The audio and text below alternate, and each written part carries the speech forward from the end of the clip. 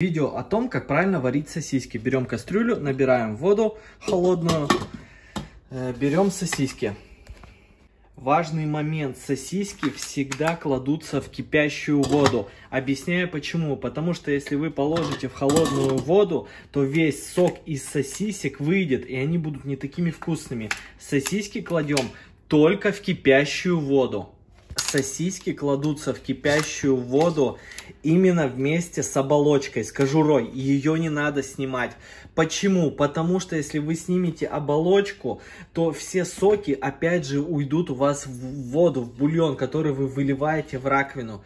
Кладем сосиски в таком виде, в котором они есть, чтобы весь сок был внутри, и вы ели сочную вкусную сосиску.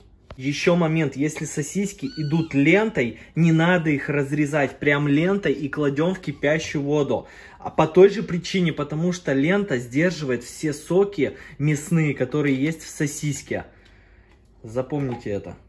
Все, ребята, вода у меня закипела. В кипящую воду мы кладем наши сосиски в таком виде, в котором они есть. Раз, два, три, четыре, пять сосисек сразу накрываем и можно убавить огонь.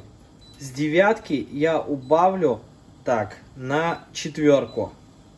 Нет, на пятерку. Варятся сосиски от 3 до 7 минут. Как правило, 5 минут варите. У всех должны быть на кухне часы. Вот 19.06, прибавляем 5 минут в 11 минут. В 19.11 я их снимаю. Сливаем кипяток в раковину. Оп.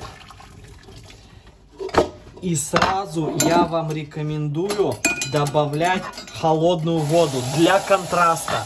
Чтобы э, кожура легче сходила с сосиски. Вот холодную воду немножко помешали. Хоп, выключили.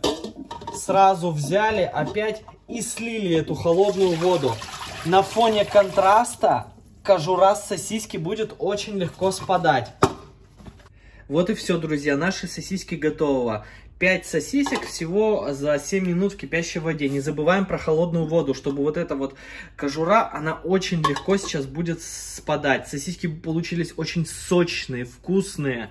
И сейчас мы с вами будем их есть.